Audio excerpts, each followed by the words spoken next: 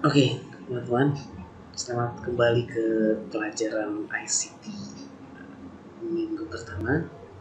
Ini kita akan belajar kembali cara untuk uh, mengetik di keyboard. Oke, nah sekarang Mister pengen ngajarin cara tata tangan yang benar pada keyboard.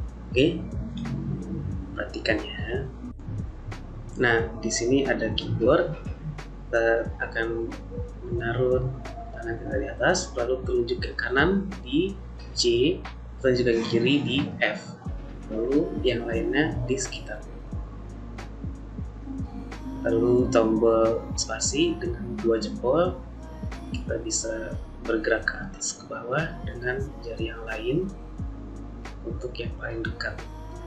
Untuk huruf G dan H bisa menyamping dengan telunjuk. Oke, seperti itu ya.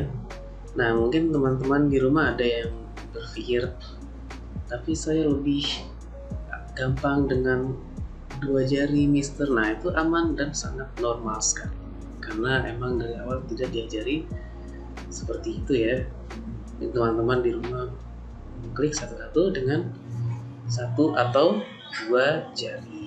Nah, kalau teman-teman memang ingin mencoba yang lebih dari satu dua jari boleh dicoba dengan yang tadi boleh juga kayak satu atau dua jari nah untuk melatih uh, pengetikan kita bisa membuka typing test yang waktu itu ya. Yang ini bisa diganti menjadi bahasa Indonesia di sini.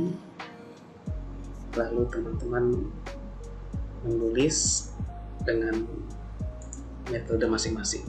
Nah saja ya teman-teman saat ini. Uh, tugasnya nggak ada tapi saya minta teman-teman untuk uh, berlatih mengetik ya di rumah. Uh, karena ini adalah skill yang menurut saya penting untuk dipakai pada saat nanti sudah selesai sekolah. Oke, saja dari saya. Selamat mengetik.